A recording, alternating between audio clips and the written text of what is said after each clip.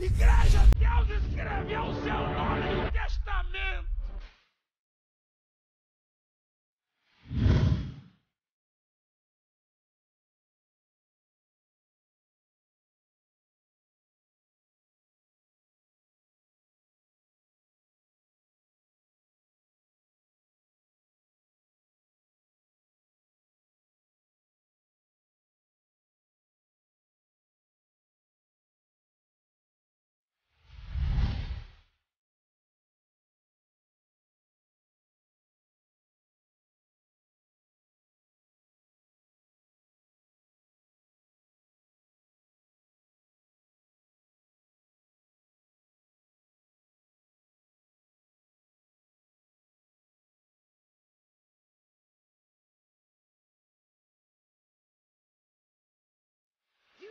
Desafia que eu quero ver! É! Eu sou mais que vencedor! Olá Brasil, a santa paz do Senhor Jesus e ao mundo inteiro que Deus nos abençoe a todos. Hoje estamos com a palavra de Deus aberta no livro de Isaías, capítulo 55. Eu queria chamar a atenção de bispos e pastoras e pastores e missionárias, obreiros, todo o povo de Deus para acompanhar conosco. No último domingo nós tivemos concentrações abençoadas, com milagres extraordinários, é, adoração e muito louvor, vidas transformadas, alcançadas pelo poder de Deus. Deus tem feito a parte dele, né? Porque, na verdade, existe uma aliança, um concerto, né? um acordo entre as partes. Todo aquele que faz um concerto com Deus, uma aliança com Deus, procura se entender com Ele, esse é abençoado. E é exatamente o que diz a palavra em Isaías 55, versículo 3.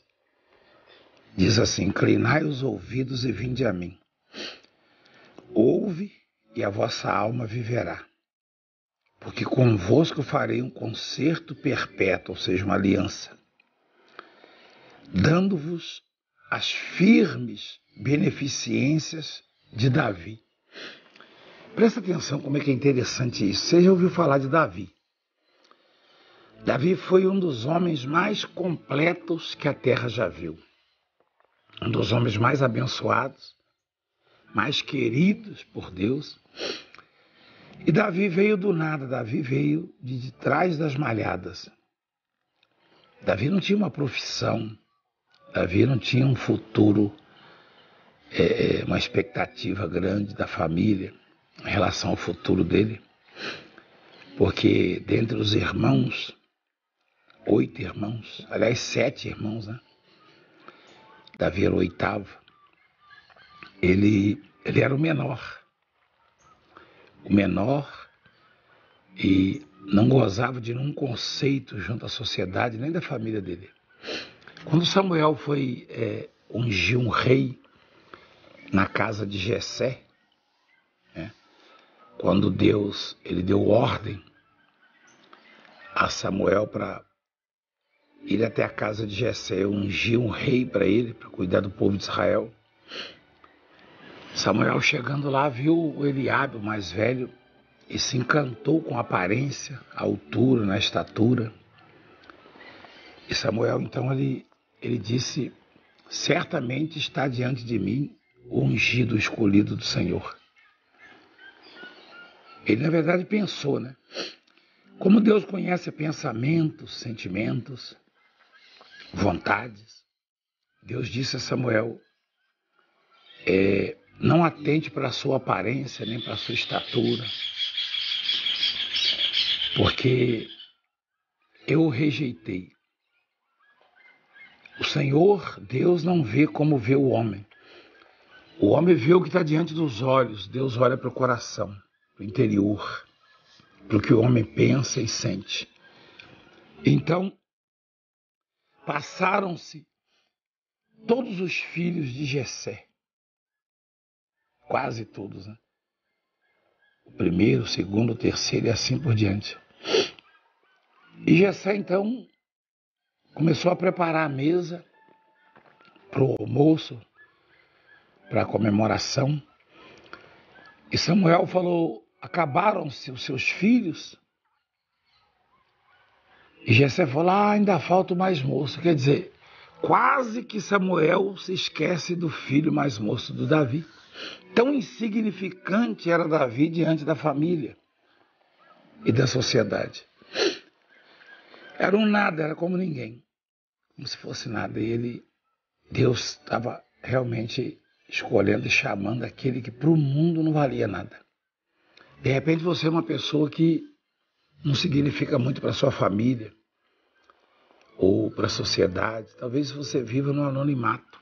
Ninguém te conhece ou não sabe o seu nome. Só que Deus ele não vê como vê o homem. Se você priorizar a sua relação com Deus, se você colocar Deus em primeiro lugar, em primeiro plano na sua vida, de uma forma ou de outra, Ele vai te exaltar, Ele vai te chamar, Ele vai abrir portas na sua vida que todos vão se assustar. Deus vai fazer algo tão grandioso. Eu, por exemplo, nunca fui nada, nunca fui ninguém na vida. Nunca tive um padrinho, uma formação. Eu nunca tive alguém que me desse um empurrãozinho, como fala lá na roça, no interior. A única coisa que eu sabia fazer, mal e mal ainda, era plantar arroz, milho, feijão e tirar leite, né? Eu era retireiro, tá? Mas Deus me chamou. Deus me escolheu, Deus me tirou lá de trás das malhadas. Nossa câmera está preocupada com a luz, mas pode deixar a luz, filho. Pode escurecer aí, não tem problema não. O importante é o povo. O povo presta atenção na palavra, até porque se o povo prestasse atenção em mim, nem ia assistir o programa, entendeu? É a palavra que interessa para eles. Nós estamos gravando aqui ao ar livre. E o ar livre tem dessas coisas mesmo. É... Às vezes o sol, ele, ele, ele se esconde atrás das nuvens, às vezes ele, ele brilha intensamente, e é assim mesmo.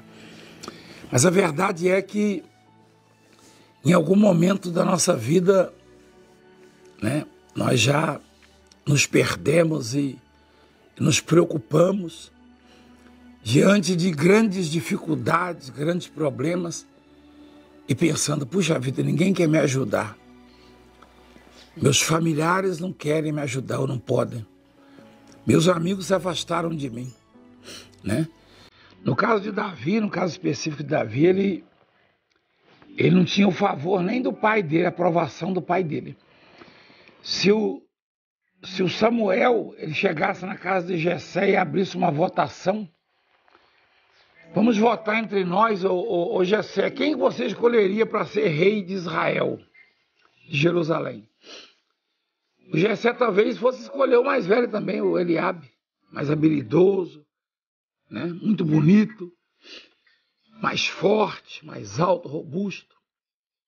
É talvez é, aparentemente mais inteligente.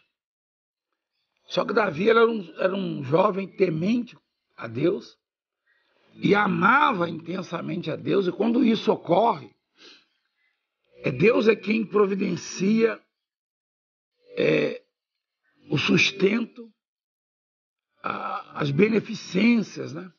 os benefícios, as bênçãos.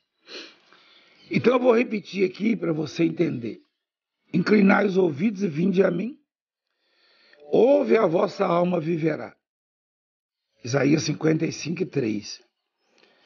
Porque convosco farei um concerto eterno.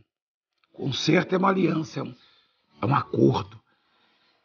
Deus ele propõe o seguinte: fazer um acordo conosco, ou com você.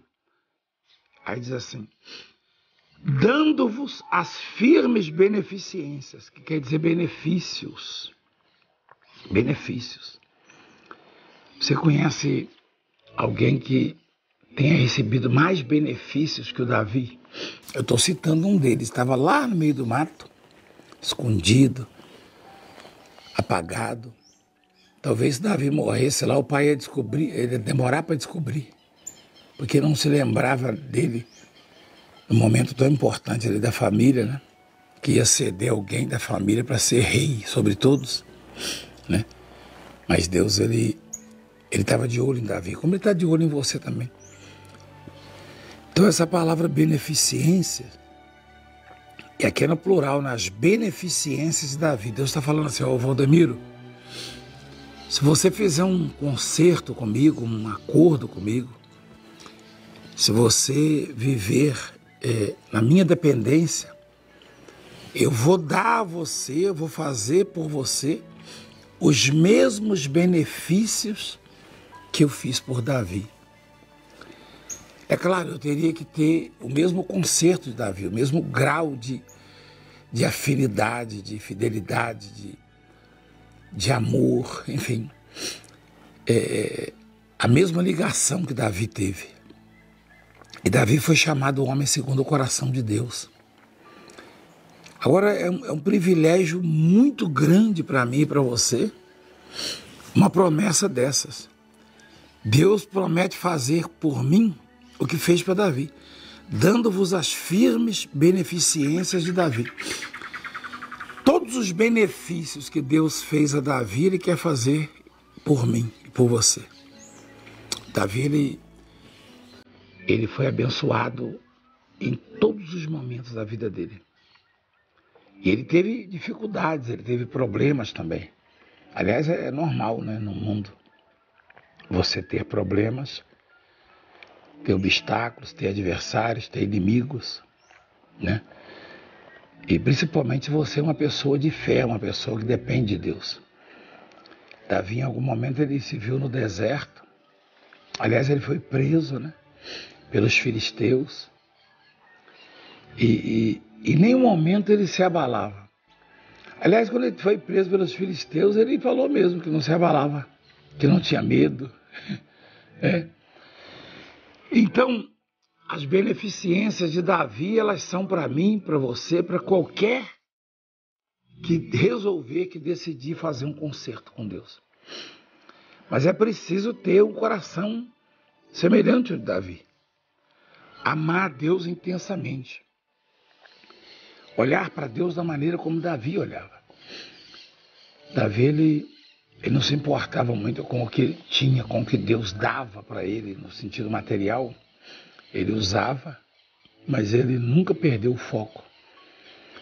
Interessante que até na velhice ele chama ele chama o filho Salomão, né? E ele estava já à beira da morte, né? E Deus falou para ele que ele ia morrer. Foi, foi, aliás, foi um dos pedidos dele, né?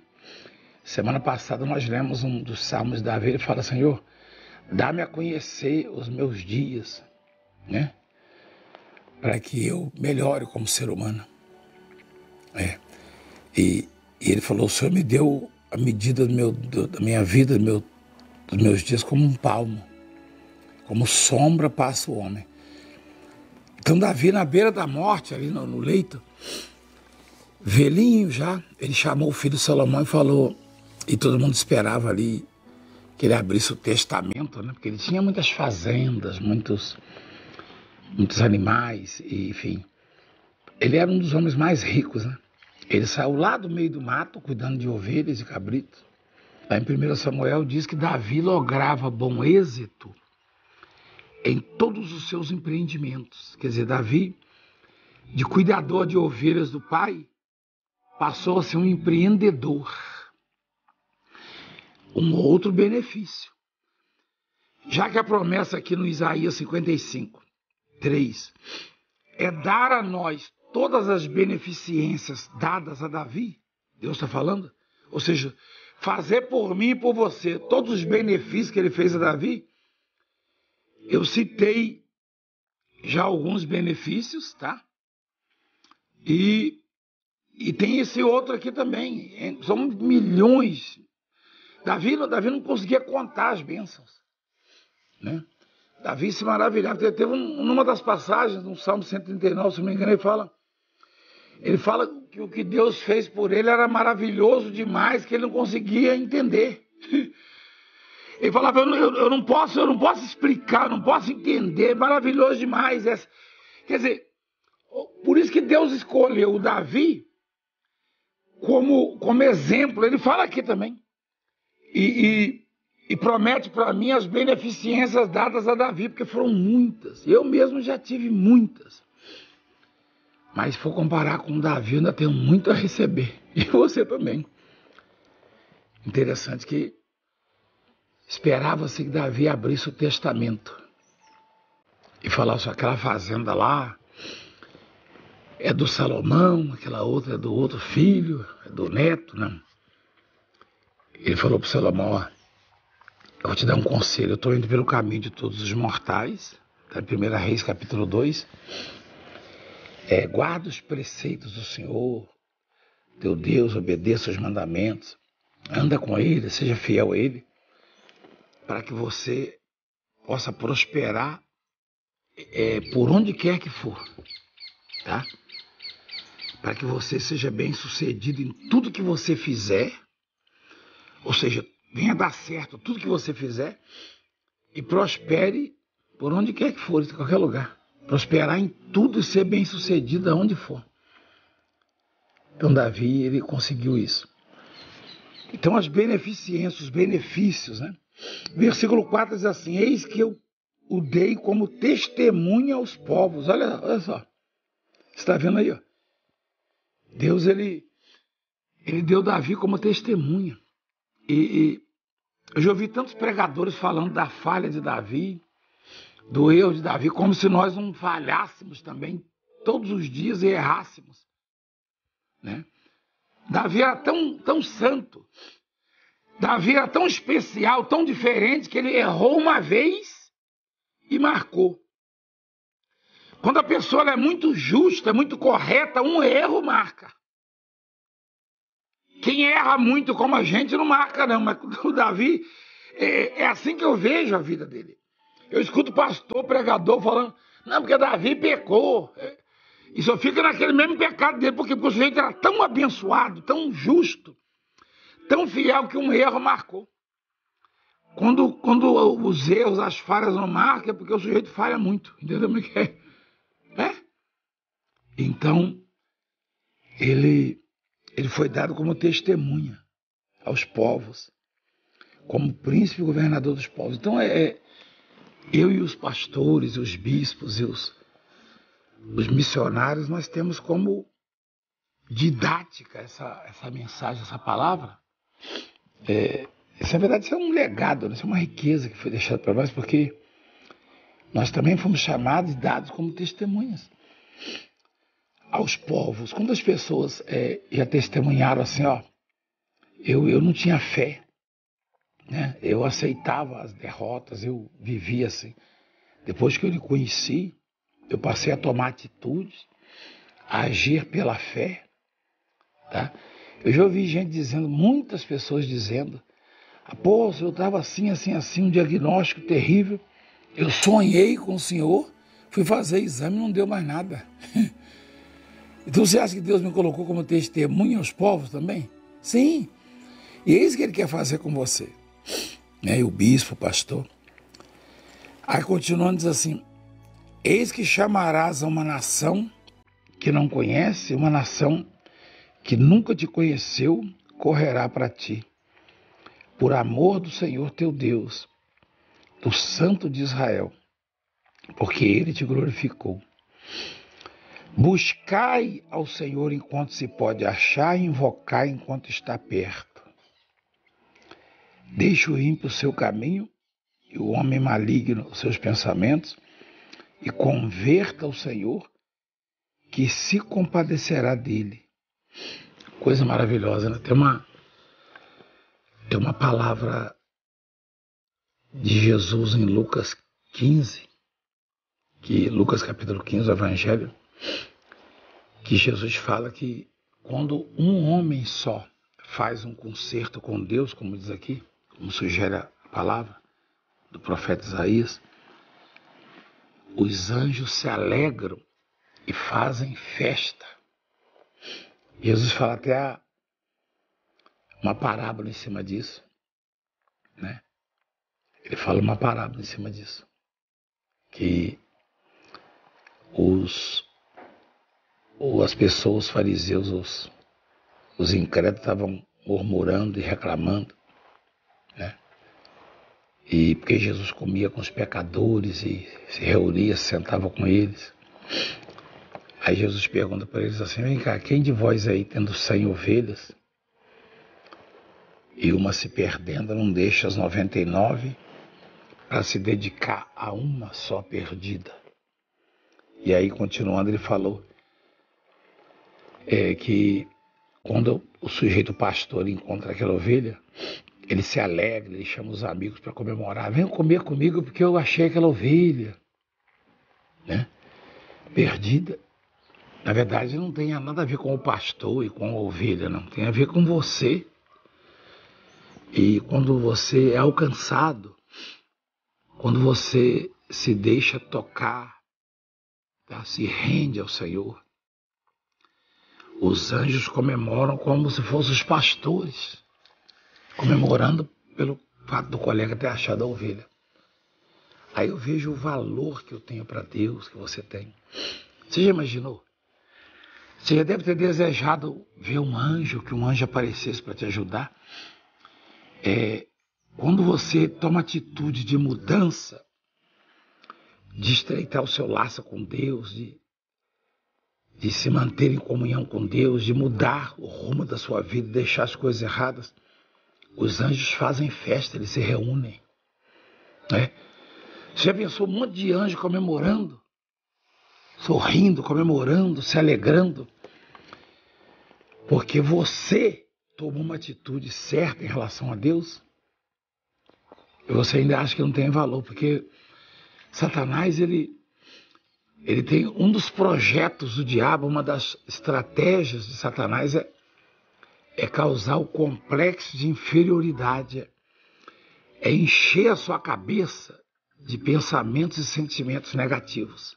Por isso que a mídia bate dia e noite em derrota. Tenta encher você de sentimento de derrota, que você não vale nada, que você não serve para nada, que ninguém gosta de você. É. Deus, ele, ele gosta muito de você. Mas muito. E Jesus disse que os anjos fazem festa. Por isso a recomendação, buscar o Senhor enquanto se pode achar e invocar enquanto está perto. Deixa o ímpio o seu caminho, né, o que pratica a impiedade, o iníquo, né, que vive na iniquidade, aquele que peca premeditadamente, vive uma vida desregrada, e converta-se ao Senhor, que se compadecerá dele. Tá? Torne para Deus, para o nosso Deus, porque é rico em perdoar porque os meus pensamentos não são os vossos pensamentos, nem os vossos caminhos os meus caminhos, diz o Senhor. Porque assim como os céus são mais altos que a terra, assim são os meus caminhos mais altos que os vossos caminhos.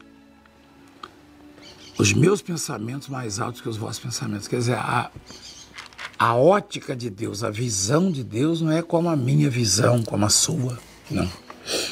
Nós estamos vivendo uma, uma fase da humanidade que parece não ter mais volta, não ter mais como recuperar o que foi perdido.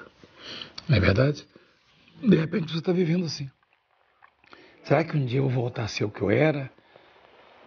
Será que um dia eu vou recuperar o que eu perdi? Será que um dia eu vou me alegrar de novo? Eu vou estar feliz de novo? Será que a minha saúde pode voltar a ser o que era antes? Tudo pode voltar a ser o que era antes e muito melhor. Aliás, quando Jó estava, quando Jó estava muito aflito, quando o Jó estava é, realmente no limite, não tinha mais espaço para feridas no corpo dele e na alma, né? Porque os amigos o abandonaram, a própria esposa mandou, aconselhou que ele morresse, enfim, amaldiçoasse a Deus e se matasse. A mulher de Jó sugeriu suicídio. Ninguém morre a hora que quer, a não ser que, que cometa suicídio. E ela sugeriu o suicídio, nunca vi ninguém falar sobre isso, mas sugeriu o suicídio. amaldiçoa Deus e morre. Sabe o que ela quer dizer? Por que você não se mata? Imagina você ouvir isso da sua própria mulher. E, e todo mundo zombava. O, o criado, ele pediu um copo d'água para o criado dele em casa, que ele era muito rico, já começou a perder tudo, ficou pobre. E ele não atendia. Está tudo escrito lá. Um dos amigos de Jó começou a falar com ele umas palavras e disse assim para ele é, que se Jó buscasse a Deus, que o último estado dele seria melhor do que o primeiro. Interessante que os amigos de Jó falharam em muitas coisas, mas esse aí, ele falou umas palavras tão poderosas. Deve estar vendo aí, você está vendo aí, né? O pastor está mostrando aí, ó.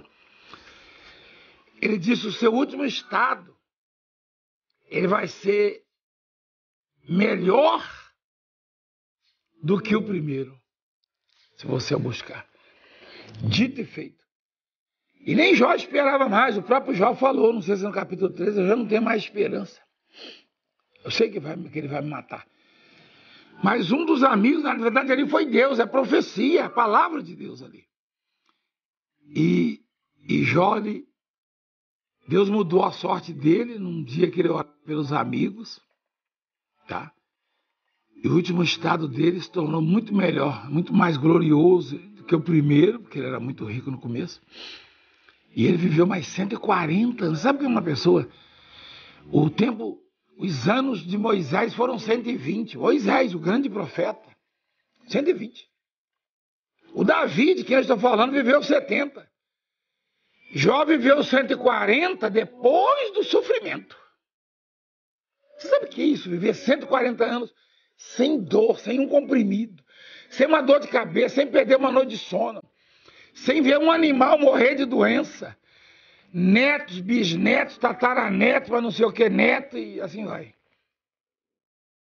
Por quê? Porque alguém falou para ele, ó, se você buscar a Deus, a mulher dele que deveria ter feito isso, mas foi um sujeito que, que não estava na casa. Quer dizer, a gente precisa, quando Deus fala que inclinai os ouvidos e vinde a mim, é no sentido de ter sensibilidade, porque a voz de Deus está aí. E agora, nessa pandemia, nessa fase da vida, Deus tem falado muito conosco, tem falado muito com você. Eu tenho certeza disso. Todos os dias ele fala com você. E é preciso entender.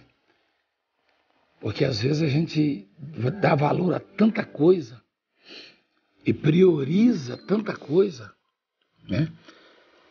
E o ensinamento, a recomendação é priorizar a relação com Deus. É fazer o conserto. Olha aqui o versículo 3, ó.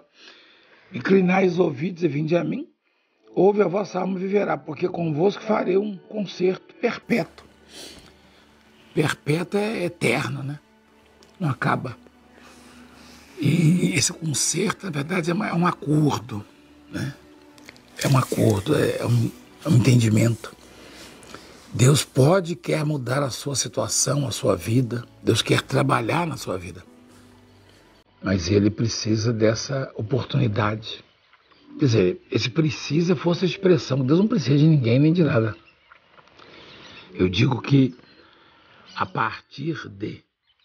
Né, do momento em que você tomar essa atitude, aí você vai ver as coisas fluírem. Mesmo na pandemia, mesmo nas dificuldades, nas adversidades. É preciso entender isso. Abrir o coração. Eu não estou chamando você para uma religião. Não. Eu estou falando da palavra de Deus, a Bíblia Sagrada. É, eu não prego a religião. Eu não sou dono do reino, não. Pelo contrário. É. Eu tenho o meu rei, que é o Senhor Jesus, eu sou o súdito dele, um servo dele. Servo dos menores. Mas ele me deu o entendimento, então eu estou passando para você. Esse buscar o Senhor enquanto se pode achar, é que a oportunidade ainda está aí. Satanás não pode nunca tirar o seu, o, o seu desejo, sua, sua vontade de estar com Deus, de buscar a Deus, de mudar de vida, estar livre das drogas, da criminalidade, da prostituição, se libertar do rancor, do ódio, desejo de morte, de suicídio você tem. Ele não pode, porque Deus está prometendo e está dizendo que está perto. Aí onde você está, você pode estar no hospital agora, ou num presídio, ou em casa, ou no trabalho. Você pode estar aflito. Eu tenho certeza absoluta que Deus está aí perto de você. Então, esse buscar o Senhor enquanto se pode achar, invocar enquanto está perto, é, Deus afirma, o profeta aqui, o Isaías, que Deus está perto. Então deixe o que você está fazendo de errado, deixe tudo aquilo que não agrada a Deus, que não te faz bem. Toma uma atitude. Volte-se para Deus. Abra o seu coração. Você vai ver a glória de Deus na sua vida, tá bom? Domingo, se Deus quiser, estaremos juntos. Às sete, às dez. E em Santo Amaro, às 14, com o bispo. E no dia 9, a Santa Ceia, em todas as igrejas mundial do poder de Deus. E nós estamos vivendo aquela fase de muita luta mesmo. A igreja está parcialmente aberta, funcionando com 25% da capacidade, tá? segundo a recomendação das autoridades da área da saúde e autoridades políticas. As da área da saúde, na verdade, pouco recomendam nesse sentido. Isso aí é mais mesmo as autoridades políticas, que na grande maioria, com todo respeito, não, não tem entendimento. A nossa classe política é formada de ex-pastores, ex-jogadores de futebol, ex-palhaços, ex-cantores, é, enfim, eu, por exemplo, eu poderia ser um legislador se eu quisesse. Eu tenho popularidade, credibilidade. Eu poderia me candidatar e, e virar um senador. Você sabia disso aí, São Paulo? Anda comigo em São Paulo, você vê. É só São Paulo, não. Mato Grosso, qualquer lugar. Aí eu pergunto, eu fui chamado para isso, eu ia fazer o quê? Eu, eu, eu me preparei para legislar, para criar leis, fazer leis? Aí ficam bravos comigo. E esses aí?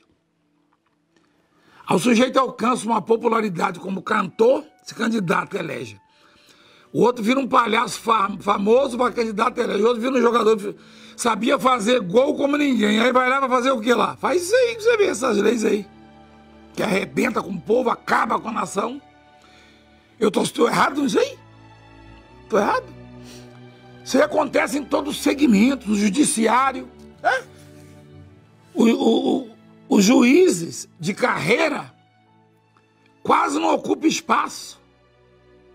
O jeito começou lá embaixo, foi juiz, desembargador e assim, tá, tá. deveria estar tá lá no, no, STF esse pessoal. Juiz de carreira. Aí vai um amigo lá e indica, ó, vem cá, você é meu amigo, né? Você estudou direito, eu vou te botar de ministro. Aí fica essa situação aí. Eu tô falando uma besteira? Eu tenho o direito de falar, a Constituição me garante isso aí. Então é complicado, meu irmão. Você acha que eu não poderia ser um senador e depois, com amizade com o presidente, virar um ministro? Hein? Que tal? Não, eu não fui chamado para isso. Eu, eu posso dar a você, eu posso, eu posso produzir para você muito mais como pregador da palavra, que eu fui chamado para ser pregador, minha vocação é essa. O sujeito me deu alegrias como artilheiro no futebol, não quer dizer que vai me ajudar como legislador. É o que está acontecendo nesse país. O sujeito me fez rir como palhaço, mas e lá, legislando, fazendo besteira. Então não tem coerência no que eu estou falando, não. Ah, você é famoso, quando você chegar, o povo gosta de você porque você não candidata. Eu? Na verdade, Deus já me chamou para o que eu tinha que fazer. Então, faça uma aliança com Deus, um concerto com Deus. Tá? Confia em Deus somente. Nós vamos orar agora, tá? Se você sentir alguma deficiência é, na iluminação, se preocupa não, porque eu estou vendo aqui na lente, o sol está batendo bem na, bem na lente, mas é, não tem problema. Não tem problema. Entendeu, diretores aí em São Paulo? Vai apagar as imagens nessa palavra. O importante é o, é o áudio tá saindo, né, filho? Isso é que importa. Eu já sou meio embaçado mesmo, entendeu, filho? Mas vamos orar então. Pai querido, Pai maravilhoso, nós entramos em oração na tua presença em nome de Jesus Cristo, teu filho amado. E o Senhor promete nos abençoar, promete fazer um concerto conosco, uma aliança. O Senhor nos promete os mesmos benefícios que deste a Davi, teu filho, teu amado. Quisera nós ter pelo menos 1% dos benefícios que Davi teve. Só que Davi também teve amarguras e, e tristezas e momentos difíceis que ele teve que se fingir de maluco para não morrer, viveu em cavernas. Os benefícios, as beneficências virão, mas em algum momento teremos também as dificuldades de Davi.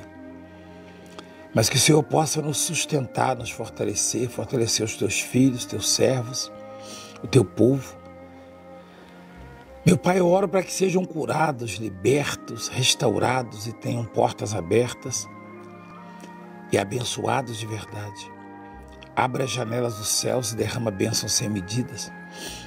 Principalmente, Pai, na vida daqueles aflitos, desesperados, precisando de resposta, precisando de milagre.